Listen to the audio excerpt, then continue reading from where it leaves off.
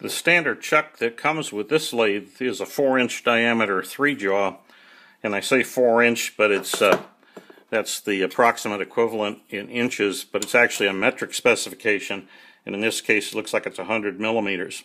So 100 millimeters is approximately 4 inches. Uh, now that's uh, an interesting thing because traditionally every mini lathe I've seen up until this one and there's uh, been quite a few of them over the years has had a 3 inch uh, diameter chuck as the stock chuck. And that turns out to be 80 millimeters. Uh, so this is the first one I've seen that comes standard with a 4 inch chuck, and I think that's a great change because the 3 inch chuck, although it's a decent little chuck, it really is pretty limited in size. And almost immediately after you start using your lathe, you're going to wish you had a 4 inch. And in fact, I've even used a 5 inch uh, chuck on my mini lathes, and I think it's safe to do that as long as you take some safety precautions. But the 4 inch is probably the optimal size uh, for this lathe, in my opinion. Now, you can also, of course, remove this and put a 4 jaw chuck in place. And it does not come with the 4 jaw, but that's available as an accessory. So let's uh, take this off and look at the spindle behind it.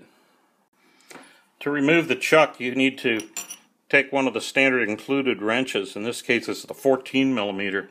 But again, on every other uh, mini lathe that I've seen, the uh, nuts here typically are smaller than this. And so this is kind of a, uh, a larger wrench than I'm used to using on the mini lathes. But you just uh, loosen those, maybe a quarter turn.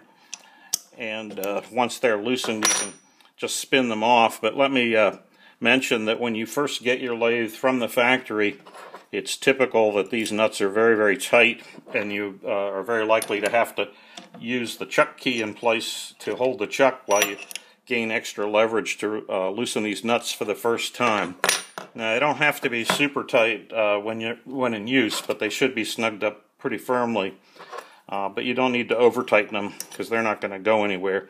But they, they tighten them up extra tight at the factory so that during the uh, journey across the oceans and by truck and by uh, other moving things, forklifts or whatever they used to move these along the journey from the factory to the end user, there's a good possibility those could work loose. So they keep them extra tight uh, during shipping, but you don't need to keep them uh, super tight when you're using them in the shop. So just spin these three nuts off of here. Be careful not to drop them.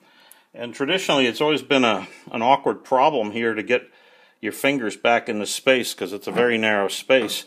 And it looks to me like they may have enlarged this space a little bit. I'll check that on another lathe and uh, see if that's true or just my imagination. But once you've got those loosened, you can just lift the chuck off. And it's a good idea, particularly when you're new to working at the lathe, to put some kind of a protective board or a shop rag or something down in this area so that if you accidentally drop the chuck, you don't gouge up your ways. Uh, well, I was curious to see if this uh, gap or space here behind the spindle, between the spindle and the headstock, seemed to me that it was bigger than uh, I'm used to experiencing on the mini lathe. And I took a uh, half inch diameter aluminum tube just, just as a measuring tool and checked two other mini lathes that I currently have in the shop and sure enough, on those two lathes, the gap here is just a little tiny bit wider than this half inch diameter rod, or tube I should say, uh, whereas here I've got an extra quarter of an inch or so in there. So I don't know whether that's a, a one-time thing on this particular lathe or whether that's actually an engineering change uh, common to this uh, model of the lathe but it's a, a nice feature because it gives you a lot more room to get your fingers and thumbs back here when you're trying to manipulate the nuts on the back of the uh, chuck. And I have kind of stubby fingers or fat fingers. It's always been a problem getting them back there for me. So we'll see. I don't know what to, what to report on that, but it, uh, it's a change that I like, and I hope they stick with it. One interesting difference between this machine and all the other mini lathes I've ever looked at is that it has a 4 inch diameter spindle. We talked about the uh, 4 inch diameter st standard chuck that comes on it. So there's a matching spindle.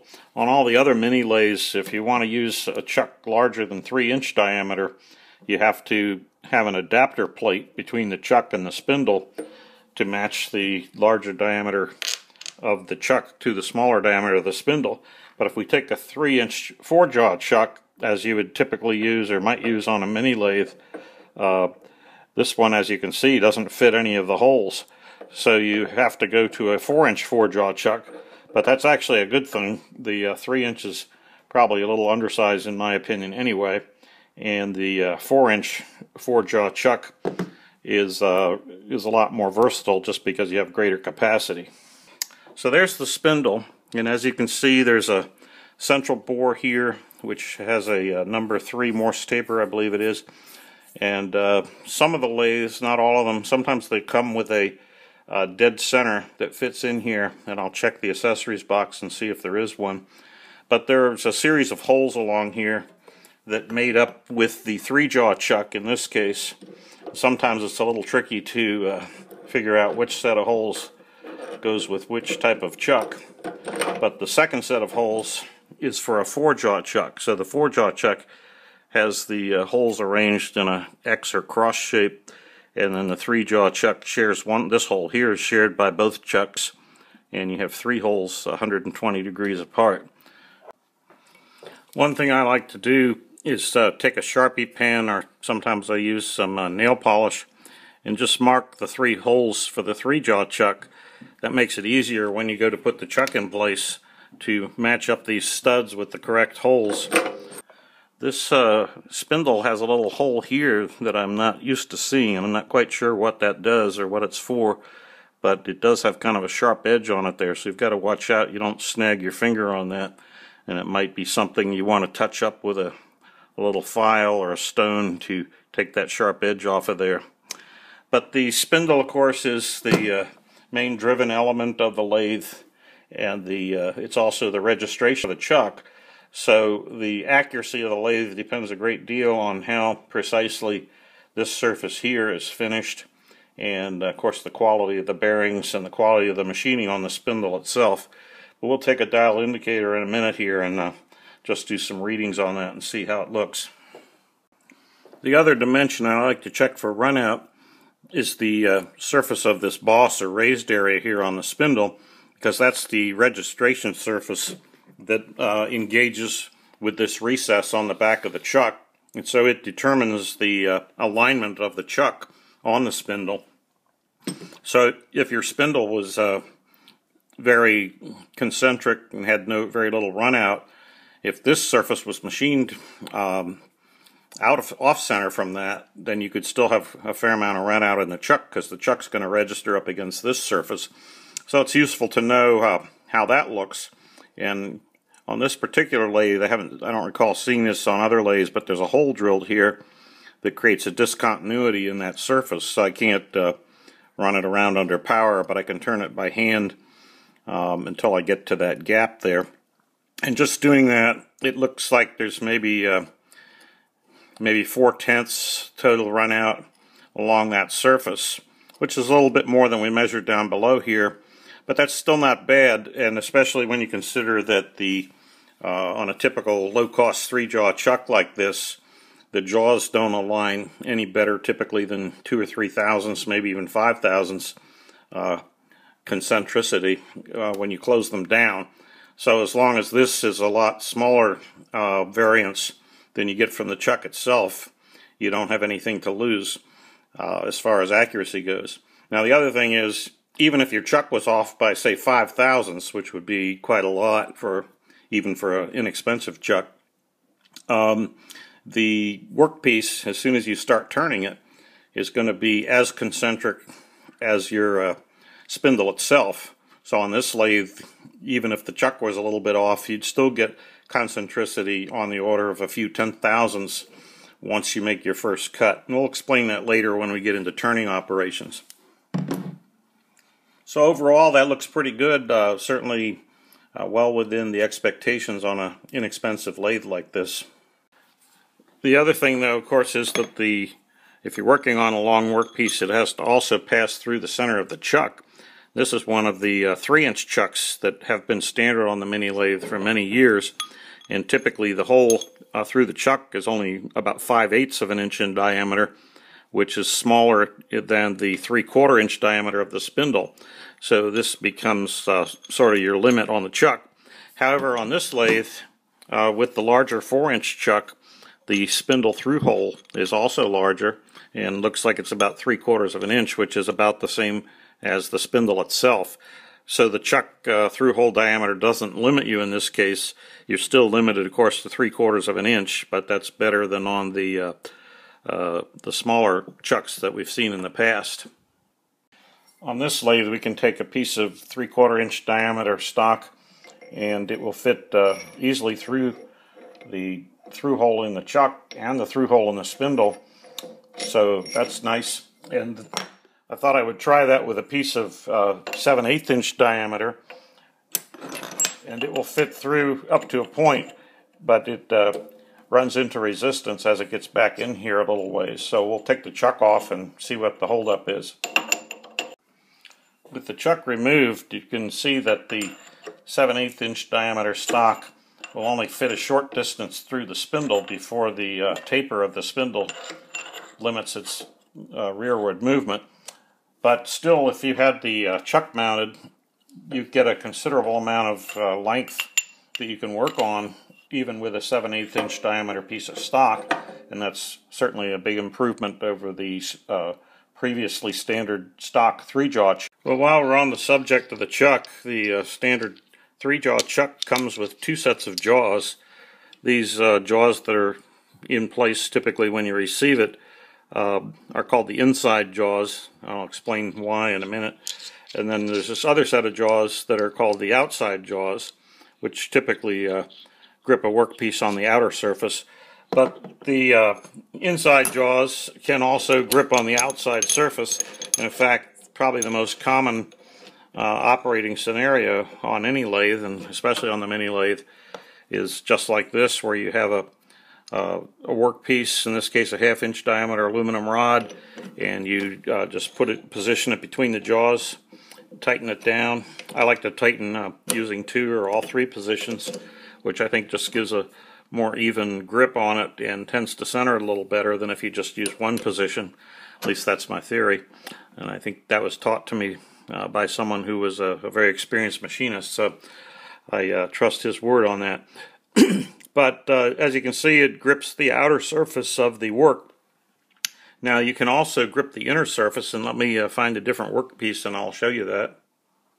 Sometimes you'll have a sort of a donut-shaped workpiece like this, and uh, it's too large to grip uh, with the jaws. If I were to try to extend the jaws out, they'd just drop out of place because they, they won't go out that far. But if the uh, diameter of the hole in the center here is large enough, on some workpieces you can grip them from the inside by moving the jaws outward and it will grip them. These uh, rounded surfaces on the outer face of the, uh, the jaws will grip the inner surface of the workpiece. So you can uh, mount it, adjust it up against these flats here to get it aligned and then just extend the jaws outward to hold it in place and I can now make a, a facing cut here or a turning cut if I needed to. So uh, there are actually two sets of these raised areas here that you can use on the jaws for that purpose. So you could hold a fairly large workpiece, maybe something four or five inches in diameter using that method. Now the, the lathe comes with this alternate set of jaws called the outside jaws. Uh, let me get the, the right set together here. And these are shaped a little bit differently. Let me compare this inside jaw here with uh, the outside jaws, or I'm sorry, these are the inside jaws that we were using. These are the outside jaws that we're about to put in place. And they are also numbered and have to go in the right slot. So there's one, two, and three. So let me find slot number one and I'm looking down in the groove here uh, for those numbers. That looks like three. A little hard to see with the lighting here, two. And this looks like number one.